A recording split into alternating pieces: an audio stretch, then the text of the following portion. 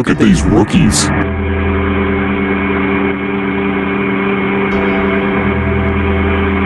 What would you do